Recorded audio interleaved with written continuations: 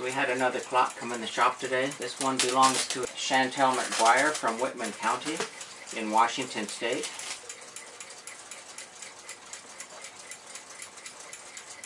A real nice kitchen clock. It was given to Shantyl McGuire as a wedding gift from her grandmother. And apparently it wasn't working when it was given to her. Shantyl said that she's had it for 10 years and it's never worked. And her grandmother said it quit working when she had it. So it could possibly be 10, maybe 20 years since it's worked. A very nice Seth Thomas parlor clock, also doubled as a kitchen clock. Let's look at the back side of the case. It does have a date on the back here. We'll get a little closer look. It's a little tough to read. This would have been the month right here. I believe that's an H, and this is a, a distinct 1, and that's a, a little tough to read, but that would have been an 8. And you can clearly see that this was an 8 and that's a 9. Seth Thomas put the dates on the back of these, and the dates are on a code, and they're written backwards. This area here is the letter, which would have been the month, and I believe that to be an H. So the case would have been produced in August of 1889, be 1889. So I'm going to date this case at 1889.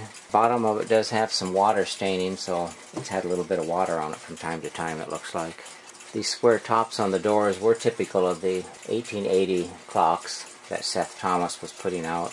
And it's got the original glass on it, a very nice gold gilt on the glass.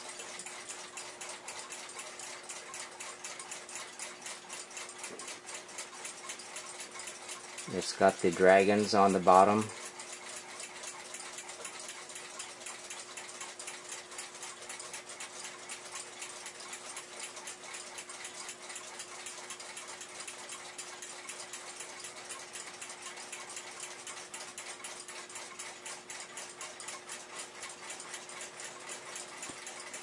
Got the original latch on the side.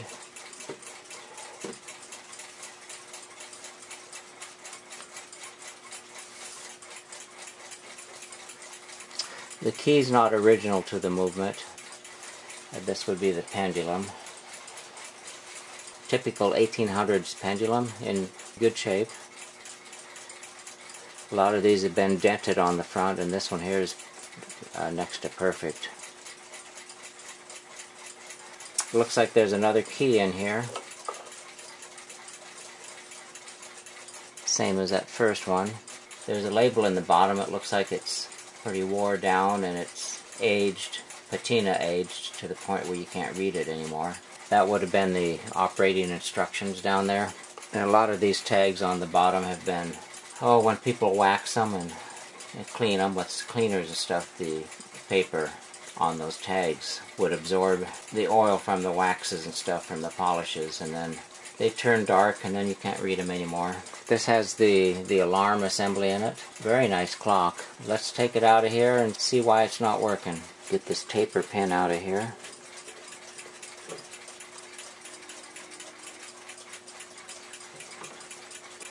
This dial is held in with three screws.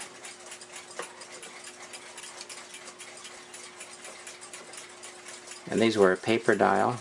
It's got the Seth Thomas logo, gold gilt on that face there. A tin dial with zinc on the back. And then these are just uh, tabs that are bent over to hold this tin part of it.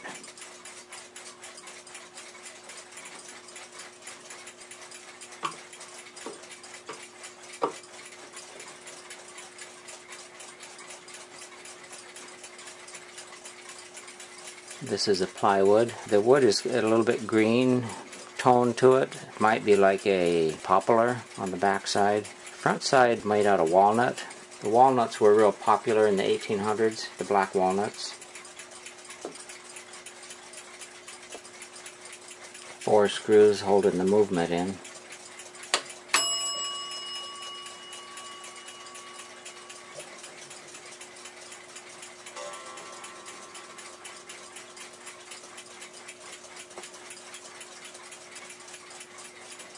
we can take this out of here and get it on the bench and see what's keeping it from running. So the first thing I'll do is I'll get this alarm disconnected.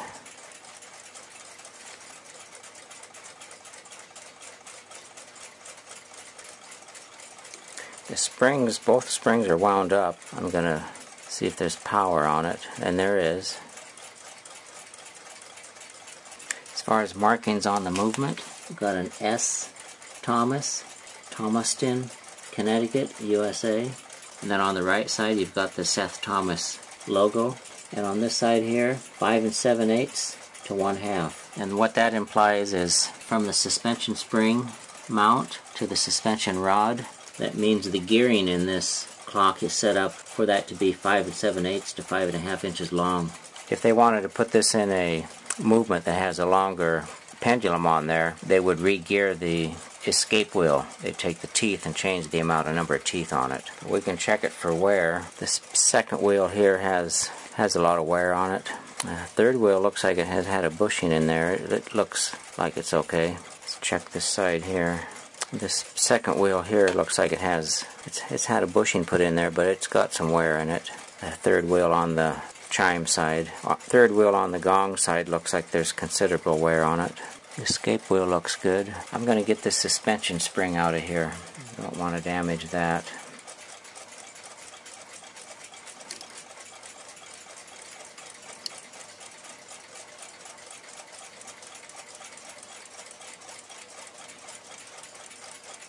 has a nice gold gilt movement in it. These movements that were plated with gold don't tarnish like a bare brass movement. All in all, the movement looks in pretty good shape. It'll need a couple bushings. It's quite dry as far as the oil.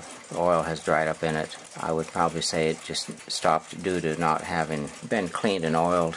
But we'll go ahead and take this apart and get it cleaned up and then move forward from there. First thing we'll need to do is let the springs down.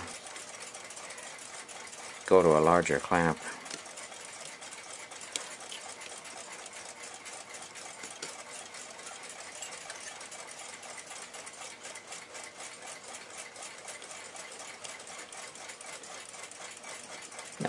The pawl away from the ratchet wheel. That's the gong side. Now we'll do the time side. That pawl is really hard to get on this one, but there we go.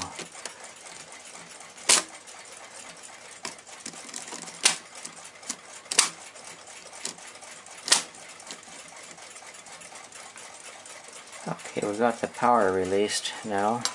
So first thing we need to do to dismantle this is get these springs loose here. The spring for the gong needs to be released.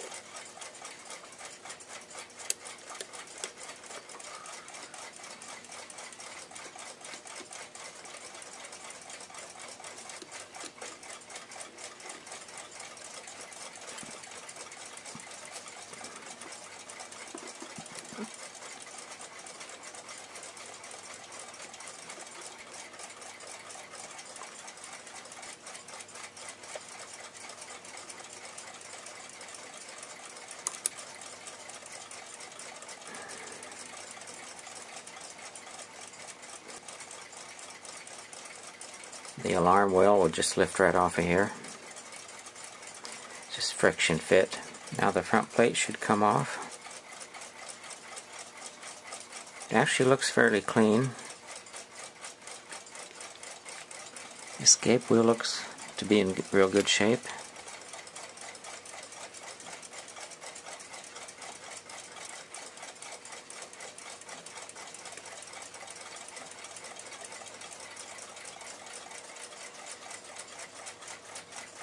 This is the second wheel. The pivot uh, almost looks like there's a, a little bit of rust on it. You can see it left some rust on my finger there.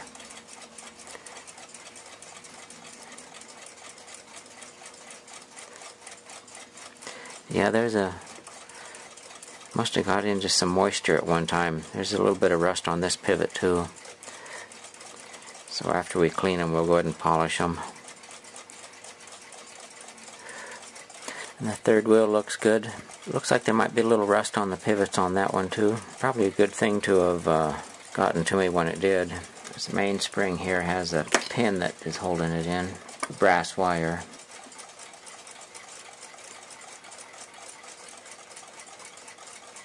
This mainspring gear has uh, really some hardened grease on it. you look right in this area here, you can see some hardened oil in there. So it's no wonder that this clock has uh, stopped working. But I'll pull that mainspring out of there and clean it by hand. Get all the old oil out of it. Gong mechanism. This is the arm that controls the striking mechanism. Center wheel. That looks in good shape. Governor. That looks in good shape. Fourth wheel on the gong side. That fourth wheel looks like it's in good shape. More of the striking mechanism. The third wheel on the striking mechanism. It looks like they have run dry for quite a while. I'll go ahead and polish those. Right here is the pivot, and that should have a mirror finish to it. But the blackishness that's on there, you can tell it's been running dry. And same for this side here. It's it looks like the oil dried up and they ran it for a while afterwards. The second wheel on the strike side. Doesn't look too bad. A little bit of rust on the shaft.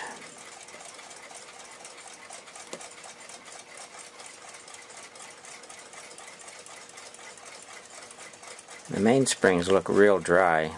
So we'll go ahead and clean this up and do some further inspection and if it needs a few bushings we'll go ahead and install new bushings. We'll get it back into running shape. This has had some bushings installed here, one over here and one over here. They don't look like they were installed flush with the plate. The surface of the bushing here should be flush with this plate here and it's it's set in a little too far.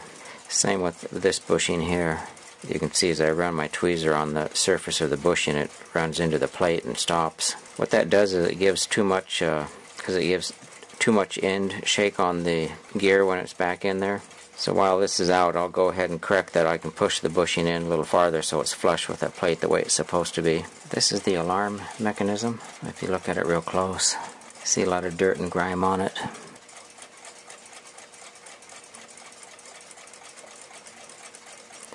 So this is due to be cleaned. A lot of hard oil on it.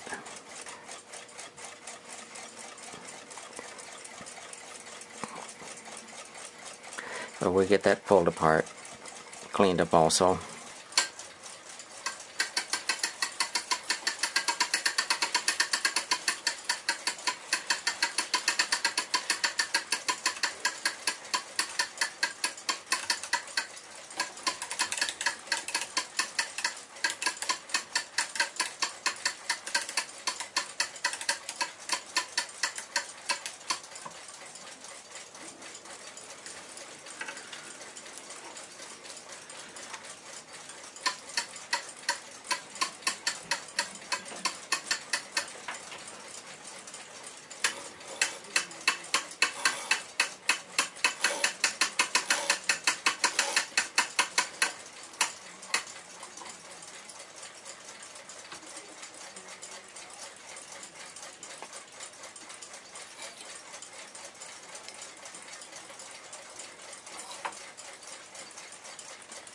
So I've got the movement all cleaned up and I'm just doing an inspection on the pivot holes. Have all the pivots polished. This second wheel here needs a bushing.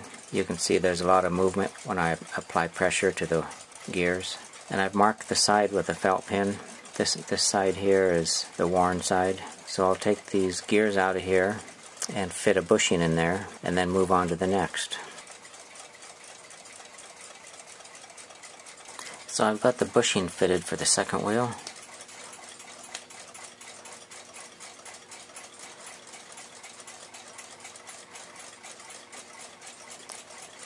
I just need to press it press it in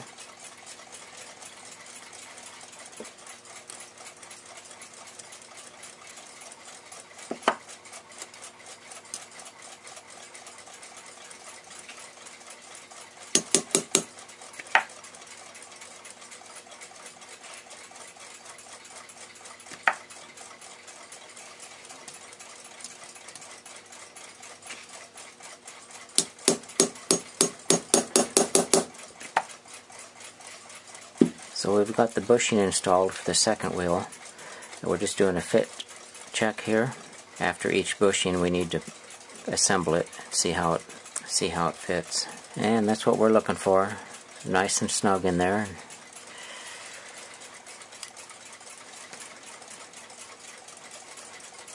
We'll look at the other side.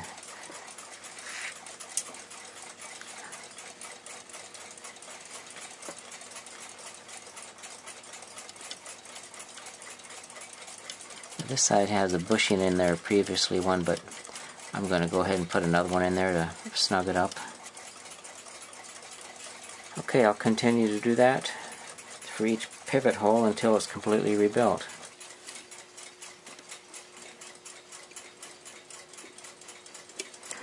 So I've got the movement all cleaned up, time to reassemble. Pivots have been all polished. Bushings all replaced.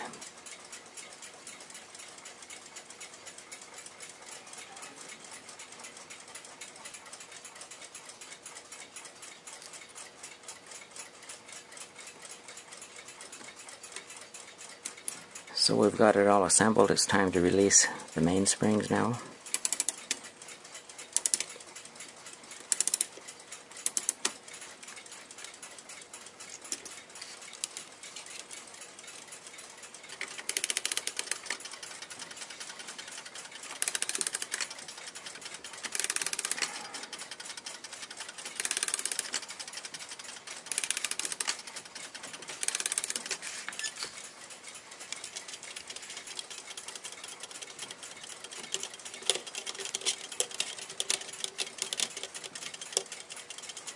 Get the suspension spring in there.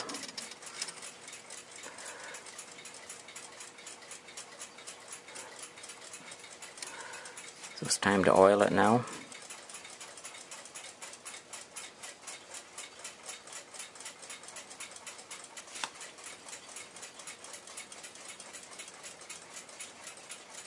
Gets just a small amount on it on the receiving pallet.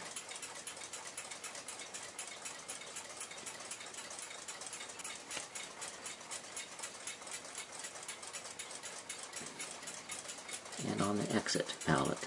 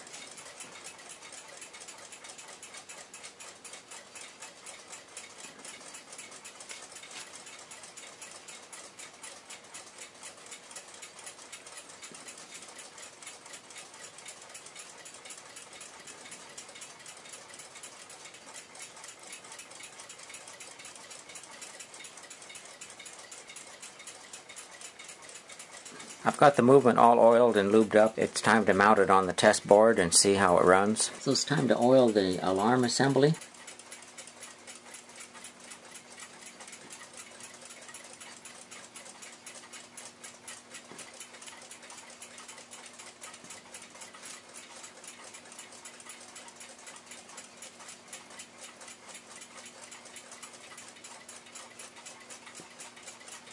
The mainspring on this gets a little thicker oil.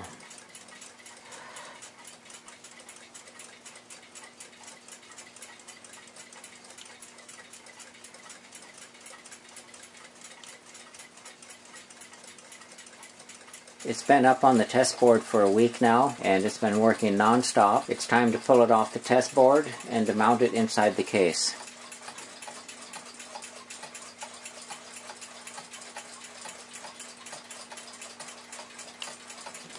So this Seth Thomas has uh, Geneva stops on the mainsprings. They were a system that was developed sometime in the 17th or 18th century and your high quality clocks had them installed on them and it's a system that prevents the clock from being wound completely tight The theory was that if you wound your clock up completely tight, that the spring would have a higher tension at the top of the wind, and for a, a day or two it would run faster than during the middle of the uh, wind of the mainspring. And that's these gears right here. And to set these up, you need to pull these off and then wind it up fully.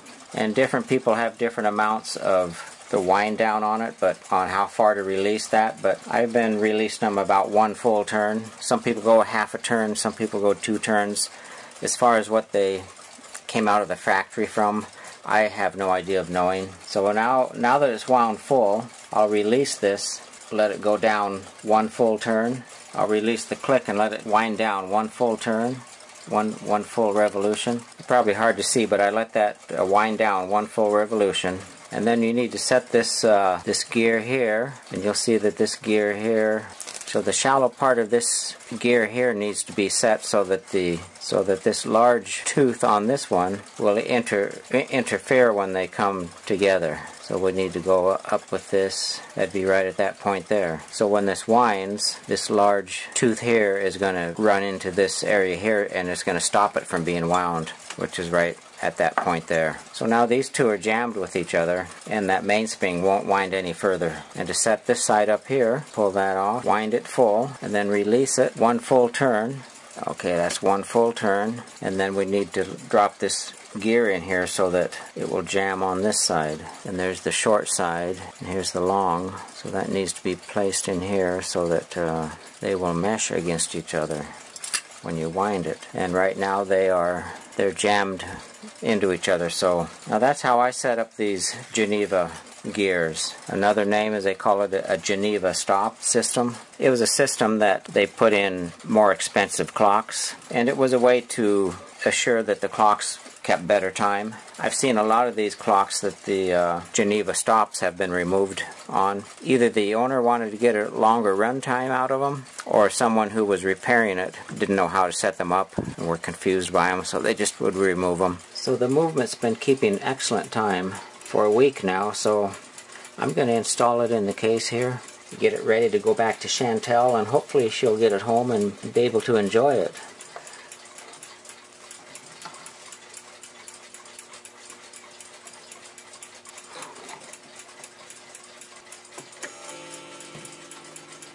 Get this alarm mechanism in here, be easier to pull this bell out of here first.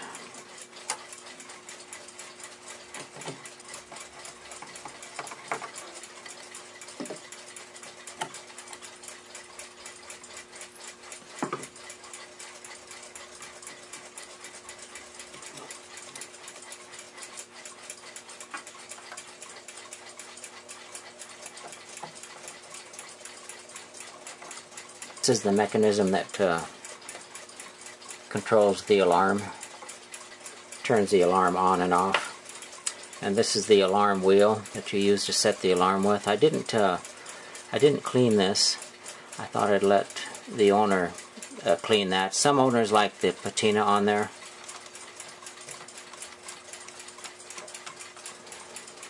Okay, we'll put the hands on it.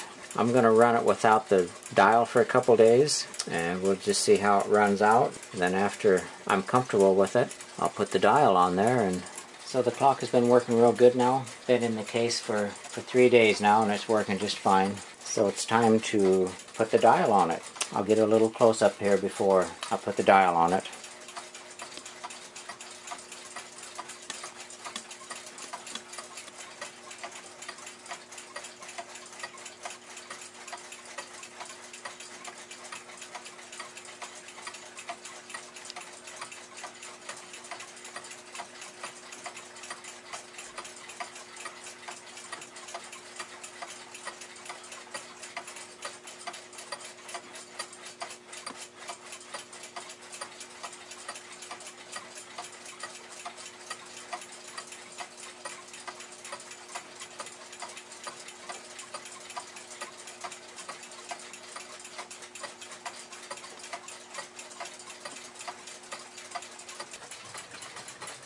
Is running excellent.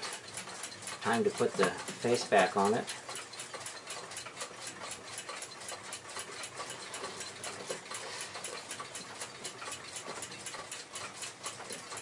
So over the week period I've had it run continuously, extremely accurate. It's a very nice clock. This is the alarm wheel.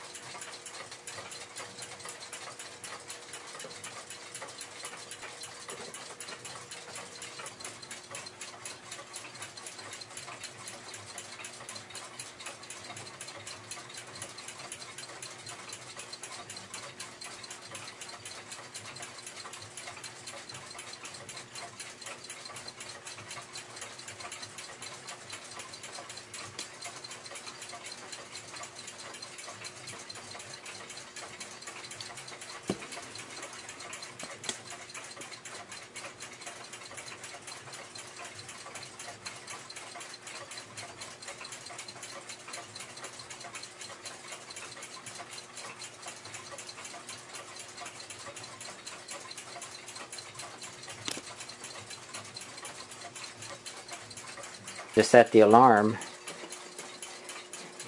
you turn the alarm. Dial here. Until the hour you want the alarm to go off matches up in line with the hour hand. And then of course the alarm, you wind the alarm up this way here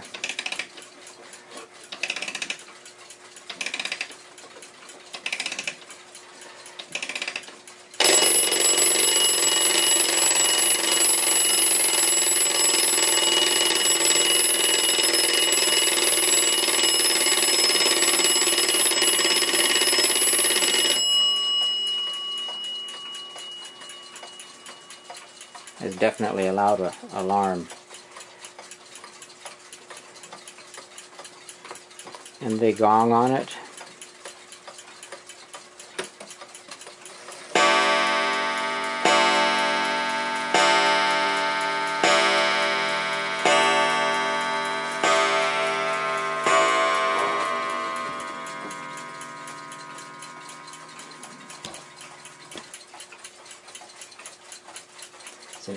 It's an 1889 Seth Thomas.